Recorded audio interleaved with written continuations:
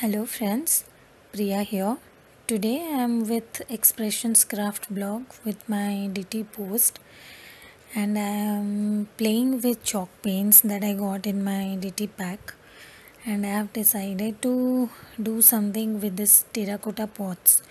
So this is the first pot and I am covering it with white gesso and then a coat of crackle paste and I kept it to dry now with this second pot as you can see I have covered this uh, pot with washi tapes creating some geometric patterns all over.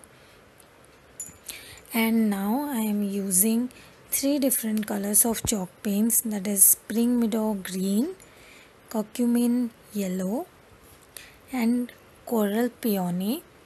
And I am using my daubers as well as a brush just to make sure that I'm not leaving any corners and you have to be very careful on the corners so that just don't go inside it and make it look bad. So I just want to make sure that I'm getting all the colors equally on the pot. So I'm using both my brush and dauber.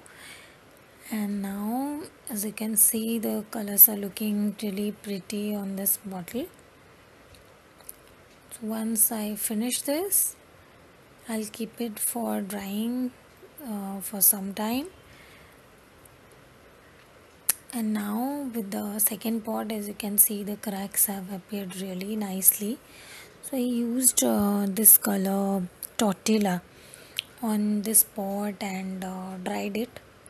But later I didn't like this color on the pot because I wanted something vibrant because this is just one color I'm using on the pot.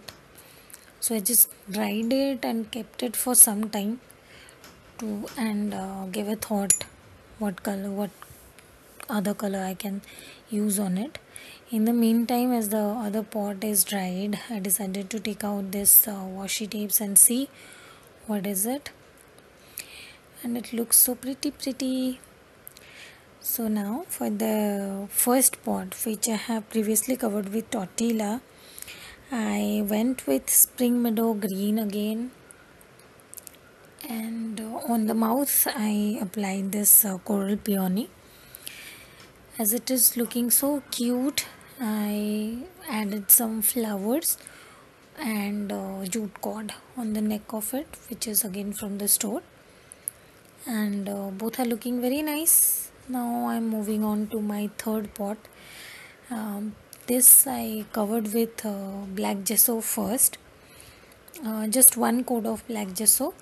I tried uh, to make some patterns with my glue gun. I'm not very good at this. So just tried. These are not very perfect. There's some random uh, shapes that I created. You can create anything. This is a small pot so I didn't go for very uh, intricate designs. I just wanted to make some texture and make it some uh, make it look um, uh, vibrant and uh, different from other pots. So inside this uh, patterns that I created I filled them with uh, some texture paste. You can either use texture paste or you can go with 3D gel. This depends on your choice. I just went uh, with the texture paste. And uh, I then I'm sprinkling some of the deco stones the mix deco stones from Expressions Craft. The stones are my favorite and I use them in all my projects so I'm just uh, gluing them on onto the pot with the help of texture paste and I'm also randomly applying them on the body of the pot. Once they are dried I dabbed with again black gesso and then I covered the body. Actually I didn't cover I just daubed um, lightly this coral peony chalk paint on this bottle uh, so that it gives me a shady kind of effect. And it looks vibrant also because the color is so vibrant. So this is how my pot looks like now